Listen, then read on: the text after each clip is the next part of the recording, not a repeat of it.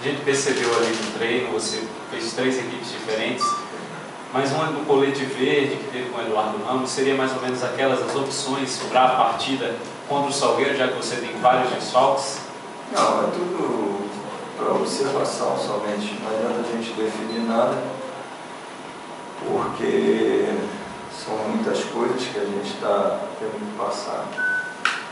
Então a gente tem que ir com calma né, para ver o que, que, a gente vai fazer, mas somente observações. Não vou dizer para você que é isso, que é aquilo, se pode ser, poder ser, aliás, pode. Né? Mas não tem nada definido, né? somente para observação dos jogadores que a gente vai ter em viagem para ver o que a gente pode fazer. O Berger entra com, com força aí para fazer parte desse time? Pode entrar o Berger, pode entrar o Dori, pode entrar o, o Maxwell também. Tá? A gente pode ter o Felipe ali também. Então são várias situações que nós vamos ter que observar e observar também o adversário para a gente definir. Porque onde, se a gente vai tentar errar menos ou se a gente vai acertar a contento. Uma mudança de esquema para o 352 também pode acontecer? Pode ser que sim. Pode ser. Tudo é observação. Nós estamos com muitos problemas e as coisas precisam ser feitas e montadas com calma. Agora, Valdemar, esses problemas e essa certa dificuldade para solucionar esse problema, muitos desfalques no meio campo, dos cinco titulares, quatro não vão poder jogar. Isso aí evidencia para você algum, algum tipo de deficiência quando a peça de reposição uma Não, tem deficiência nenhuma de nada. Infelizmente, vem acontecendo coisas, né? vem acontecendo. Os jogadores estão sentindo, e casos graves, né? E foi, foram, a maioria, tudo por causa de trauma, né? Então, não tem deficiência. Infelizmente, aconteceu, né? Você não pode ter 40, 50 jogadores no plantel. Não tem motivo nem porquê. Um fato atípico essa condição, né? Porque o treinador está sempre preparado para dificuldades, obstáculos, mas veio tudo com uma carga muito pesada, né, Ronaldo? É, mas o que a gente vai fazer? A gente tem que superar isso tudo, né? Continuar trabalhando com a certeza de que Deus está do nosso lado de qualquer maneira, de qualquer forma, em qualquer lugar, acreditando que tudo que está acontecendo de bom né, na vida da gente tem sido ele o que estiver acontecendo, que não seja é, o desejado, também nós temos que ter paciência para continuar sabendo que nós vamos vencer a isso tudo e sempre da maneira que a gente se orienta melhor que através do trabalho.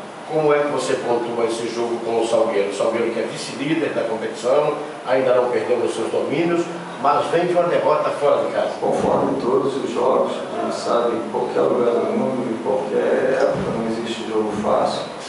A gente sabe que vai ser um jogo muito difícil, né? lá na, na, no estádio do adversário. Né? E nós temos que fazer o possível para que a gente possa fazer um grande jogo seja com qualquer equipe que estiver dentro do campo. É, é, o, o que é que se deve essa sequência de lesão tão grande, principalmente no joelho?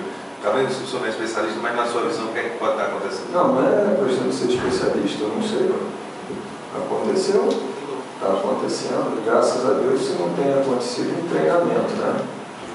Nós tivemos duas situações em treinamento, mas é justamente por causa principalmente dos jogos, que é isso que as pessoas, principalmente a nossa torcida e vocês da imprensa, com muito bom senso, de estar passando é, o que realmente acontece, né? que a coisa acontece, acontece ali dentro do campo em dia dos jogos principalmente.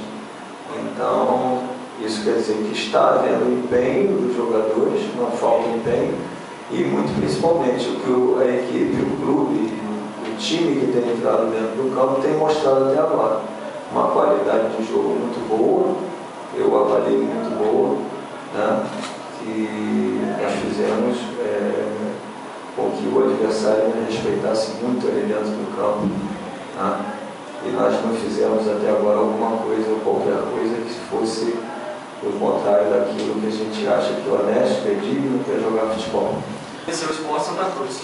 Qual o tamanho dessa vantagem do Salgueiro por jogar no Balneário de Barros? É uma equipe que eu sempre falei desde a Série A, quando eu tive a oportunidade de conhecer. Uma equipe muito boa, foi uma pena o que aconteceu de não ter no mínimo se mantido na, na, na competição brasileira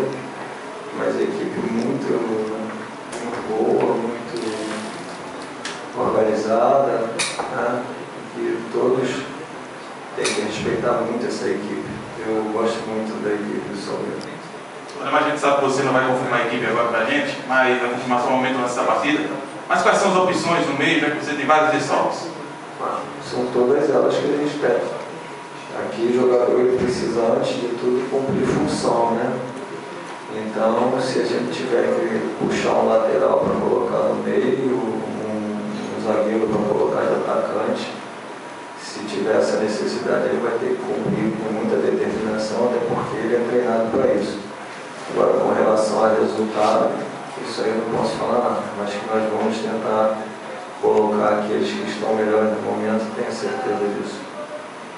Deu?